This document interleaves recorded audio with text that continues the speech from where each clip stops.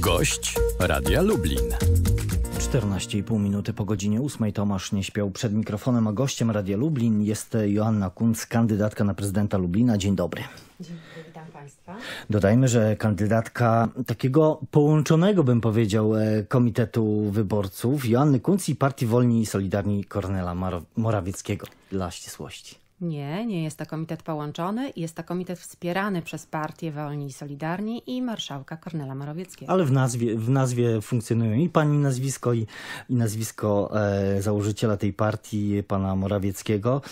E, no i jeszcze dodałbym do tego jedyna kobieta w gronie, w tej chwili przynajmniej, e, kandydatów na stanowisko prezydenta e, Lublina. To będzie działało na pani korzyść? Oczywiście, lublinianki są wykształcone, bardzo dynamiczne i mam nadzieję, że docenią to, że jestem również taką osobą, kobietą, matką, y, osobą wykształconą, dynamiczną, prawnikiem i doktorantem na naszej uczelni Marii Curie Skłodowskiej na Wydziale Prawa i Administracji. No to skoro już to przedstawienie dosyć szerokie mamy za sobą, y, na ile realnie ocenia Pani swoje szanse y, w tych wyborach? Albo może tak, z jakiego wyniku Pani byłaby zadowolona? Oczywiście wygram. No, to pewnie każdy e, z kandydatów, e, którzy startują, startuje właśnie z takim e, przekonaniem, ale też życie i, i no, polityczne przede wszystkim jest takim czasem sprowadzaniem na ziemię. Mamy przed sobą wybory, w których startuje urzędujący prezydent, cieszący się no, dosyć dużym poparciem społecznym. W poprzednich wyborach wygrał w pierwszej turze 60 ponad procent poparcia. Obecnie sondaże również dają mu duże poparcie i dużą przewagę nad innymi kandydatami. No jak chciałaby Pani to zmienić? Przede wszystkim nasz komitet jest komitetem bezpartyjnym. Jestem osobą bezpartyjną i proszę Państwa, dwa, dwie kadencje prezydenta Żuka to już jest okres, w którym zaczynają e, funkcjonować pewnego rodzaju układy i ten układ trzeba w tym momencie prze, przerwać, jeśli Państwo chcą, aby w tym momencie. Ale układy od... polegające na czym? Układy są zawsze, a im dłużej jest władarz, tym dłużej te układy się budują. Między innymi są to układy gospodarcze, ale również wewnątrz y, urzędowe, między spółkami a y, władarzem. One niestety będą funkcjonować, a im dłuższe będzie y, i kolejne kadencje tym będą się niestety pogłębiać. Czy pani jest bardziej zwolenniczką e, ograniczania liczby na przykład kadencji władz e, samorządowych, na przykład do dwóch? Tak, jestem zwolenniczką ograniczania kadencji. A właściwie dlaczego zdecydowała się Pani na e, kandydowanie na to stanowisko? Bo ja też jak czytałem, jak, jak słuchałem e, Pani wypowiedzi z konferencji prasowych, Pani publiczne wystąpienia, to w dużej mierze to nie była taka e, krytyka w czambu e, polityki Krzysztofa Żuka. Pani dostrzega dużo takich pozytywnych zmian, które zaszły za jego kadencji. Jestem osobą obiektywną. Przede wszystkim widzę e, to, że miasto nam wypiękniało, to prawda, ale proszę Państwa, zrobić sobie cudny lifting, operację plastyczną, a w środku toczy nas robak. Jeśli Państwo porównają... A tym robakiem jest co? Przede wszystkim długi. Przy, oczywiście można zadłużyć miasto pod warunkiem, że te inwestycje służą mieszkańcom i będą przynosić realne korzyści.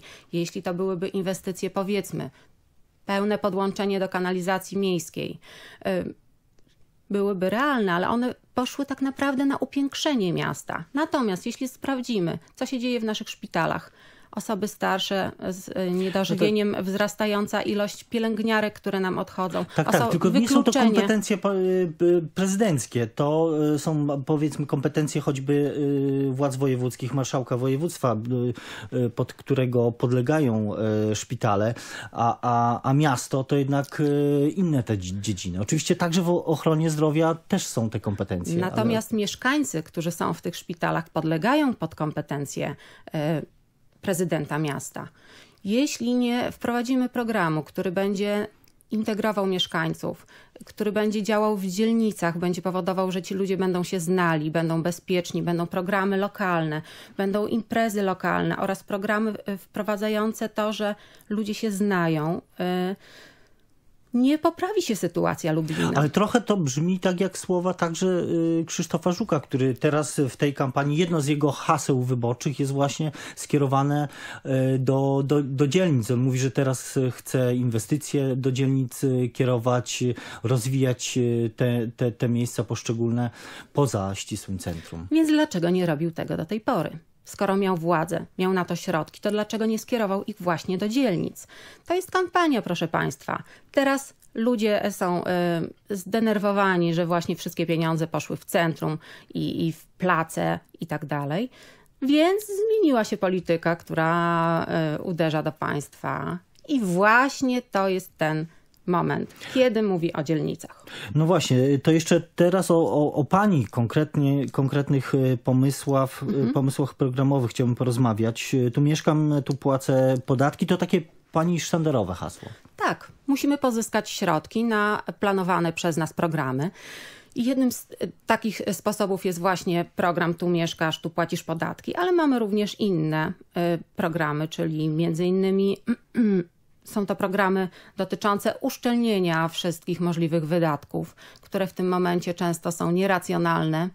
Y, to jest również planowanie budżetu, chociażby w tym roku, nie wiem czy Państwo zwrócili na to uwagę, nie udało się za pierwszym razem podpisać umów na odbiór i zagospodarowanie odpadów. Zabrakło pieniędzy na szkolnictwo, na zastępstwa w szkołach. To są wszystko środki, które trzeba przesunąć z innych działań. Tym samym wydatki są nieracjonalne. No i z tego programu e, Tu mieszkasz, tu płacisz podatki, pani chce finansować i inwestycje, i darmową komunikację dla studentów, i budżet akademicki, o, o szczegółach którego pani wczoraj na konferencji y, mówiła. Tych pomysłów sporo jest, y, no ale też trzeba za to y, zapłacić konkretne pieniądze. Ilu wpływów właśnie w ramach takiego tego programu pani się spodziewa do budżetu? Mamy nadzieję, że przynajmniej 10% mieszkańców mieszka w Lublinie bez odprowadzania w nim podatków. I wystarczy w momencie składania deklaracji podatkowej na koniec roku zaznaczyć miejsce zamieszkania Lublin i automatycznie te pieniądze wpływają do budżetu miasta. Ale nie do końca tak jest, dlatego że y, podatek PIT y, przede wszystkim w pierwszej kolejności zasila budżet państwa, a dopiero potem jest rozdzielany do gmin. W przypadku gmin to jest niespełna 38% y, udziału w tym podatku, który trafia do gmin. W przypadku powiatów to jest 10%. I to jest te 10%, które wystarczy nam na rozpoczęcie większości inwestycji oraz przy racjonalizacji wydatków dofinansowanie z innych źródeł. Bo proszę Państwa, to nie jest jedyny program, który planujemy wprowadzić. Dodatkowym programem jest wspieranie budżetu miasta poprzez y, rozwój małego biznesu.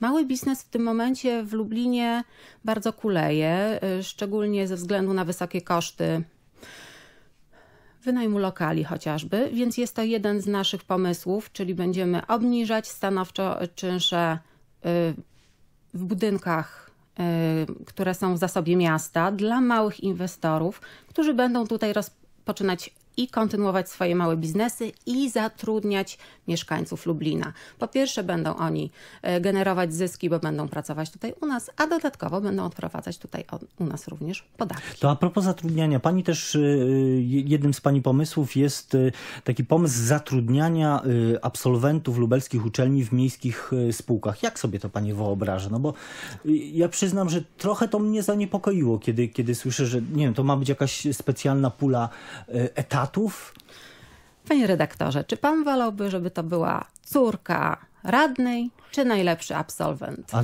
zdecydowanie najlepszy absolwent, tylko pytanie, czy takie ręczne sterowanie, nawet w dobrej wierze, może odnieść swój skutek? Bo potem mogą się pojawić zarzuty w drugą stronę.